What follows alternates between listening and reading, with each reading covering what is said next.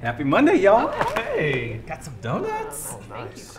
Anytime. Hey, so did you guys catch that Georgia game? Ooh, that pick six was insane. Did you see that? Please, Georgia Vandy was over by halftime. LSU Mississippi State though about gave me a full heart attack. Oh, it actually gave me a heart attack. I had to go to the hospital. Did you watch Maya?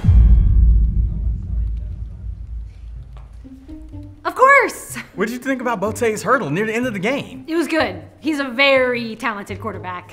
He's not a quarterback, he's the wide receiver. Either way, Mississippi's lucky to have that guy. Um, he plays for LSU. What's wrong with you? Nothing. I'm good. It's your girl Maya. I'm all good. I'm a football fanatic. Touchdown. Tied. I, Did you even watch the games? I can't do this anymore.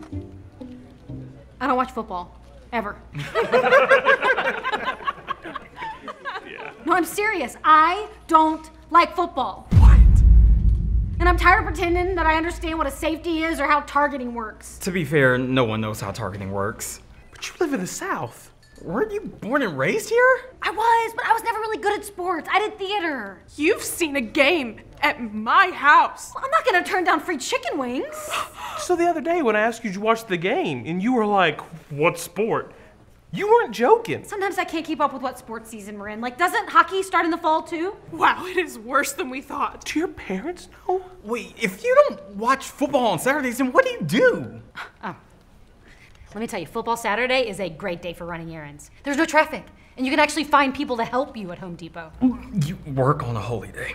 No, I mean, sometimes I go for a hike. That sounds like work. It's mostly flat surfaces around here. So you're telling me that you would rather walk through the woods than sit down and enjoy God's greatest gift to humanity. Young men strapping on helmets and pads, colliding into each other repeatedly in a stadium full of people just screaming their heads off. See? It sounds like they've got plenty of fans. It's not like they need me. I'm pretty sure not liking football is against company policy, so I'm sorry, but I'm ethically obligated to report you to HR. Wait, hold on. Maybe we can work through this. Have you ever thought about getting help or something? Maybe counseling? You think I should pay someone to help me figure out how to care about a team I'm not even on? It's covered by the company. Just so you know, my cousin's dog walker's son is on the LSU roster, so I might as well be on the team. This is highly offensive. And maybe you just haven't found the right team yet. No, it's not the team. I just don't like football. This is who I am. Wait, no. You're right. I think we should commend Maya.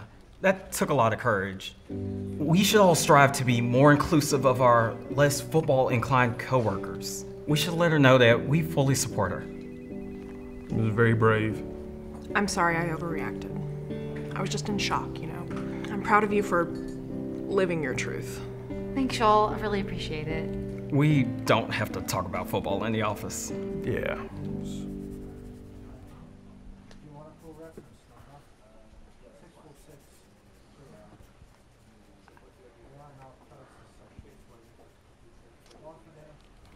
Have you tried that new coffee shop down the street? Oh, I don't really drink coffee. Okay.